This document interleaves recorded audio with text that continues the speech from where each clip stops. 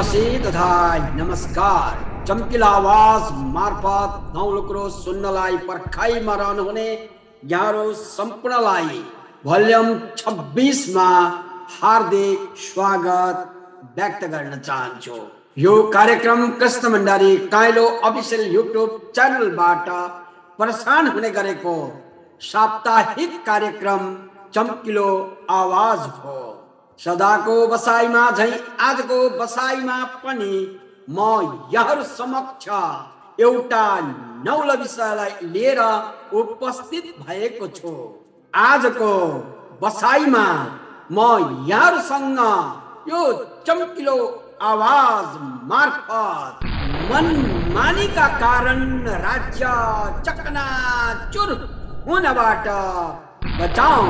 यस विषयलाई शीर्षक बनाई म यहाँहरू समक्ष उपस्थित भएको छु। साँच्चै संसार विभिन्न देशका भागहरू विभिन्न प्रकारले बनिएका छन्। ती प्रत्येक देशहरूका भागहरूमा परमेश्वरका थुप्रै सेवक सेविका बसोबास गर्ने ठाउँहरूमा समेत शासन गर्ने विभिन्न शासकहरूले त्यहाँका सरकारलाई चलाएर आफ्ना देशलाई असल देशको चित्रण गर्दै गर्दा राष्ट्र, राष्ट्रका शासकहरूमा मन मानिको ढङ्गले एउटा देशले अर्को देशमाथि आक्रमण गर्ने विचारले अगाडि बढ्ने क्रममा राष्ट्र राष्ट्रहरूमा उथल उथल भएका कारण राज्य चकना चोर हुने सम्भावना देख्दछौ भने अब सबै राष्ट्र मिलेर राज्य चकना चोर हुनबाट बचाउनका निम्ति मान्छेको राज्यबाट परमेश्वरको राज्यमा परिणत गर्नतर्फ लागौँ। नत्र यी सरकारहरूले विभिन्न समयमा शासन गर्दै गर्दा देश मिच्ने र बेच्ने कामले तपाईँ र हाम्रो अस्तित्व सँगै जीवन मेटिने सम्भावना छ। परमेश्वरको राज्यबाट सुशान्तिको उद्घोष गर्दै सुव्यवस्थित ढङ्गको न्यायपालिका खडा गर्दा पनि अनि सबै मानव राज्यको सरकारलाई नाश गर्दा समेत त्यस दुष्टको अभद्रताको चालले अझै शासन गरिरहेको हुनेछ। जसले गर्दा राज्य चकाना चुर हुनबाट बचाउनुको सट्टा अझ विभिन्न प्रकार प्रकारले ध्वस्त पार्ने बम गोला बारुदहरूको प्रयोग गरिरहनेछ।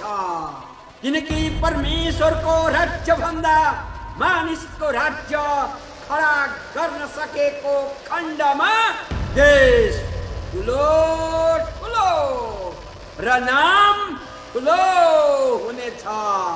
त्यसैले परमेश्वरको भय पटक्कै नलिएर पार्टी राजनीति र युद्धलाई निरन्तरता दिने हुनेछ।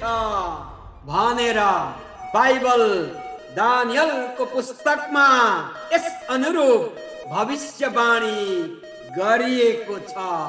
र साथै मान्छे मान्छे बिच मात्र होइन अपितु दुष्ट स्वर्ग दूतहरूका प्रेरितका चिन्हहरूले के देखाउँछन् भने ती दुष्टहरूको कुनियतिद्वारा पृथ्वी भरी भरिका राजाहरू कहाँ गएर तिनीहरूलाई सर्वशक्तिमान परमेश्वरको महान दिनको र कामको लडाइँको निम्ति देखाउने मैदानमा उत्रेका दुष्टात्माहरूका शक्तिलाई सर्वशक्तिमान परमेश्वर को महान राज्यलाई खडा गरेर प्रतिदिन युद्ध गर्नलाई कम्सिएकाहरूलाई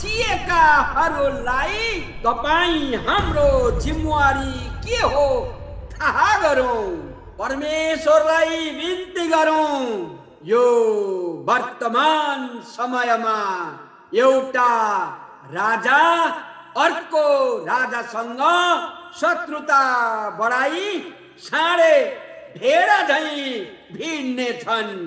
अनि कुनै देशका राजनेताहरू रथहरू घोड चढीहरू अनि थुप्रै जहाज लिएर एक अर्का विरुद्ध चाहिलाग्ने छन्। र तिनी थुप्रै देशमा छिर्ने छन्। र बाढी जस्तै यो सब राष्ट्र, र व्यक्तिको मन मानिको कारण राज्य चकना चोर हुन लागेको देख्दैछौँ त्यसैले होसियार रहौँ, सचेत रहौँ। सही काम गरौँ सही जीवन जिउँ र। अरूलाई पनि सही जीवन जिउने वातावरण बनाऊ, भन्दै अवलोकनार्थ। दानियल दुई अध्याय, प्रकाश सोह्रको चौध र। दानियल एघार पैँतिसदेखि पैँतालिस।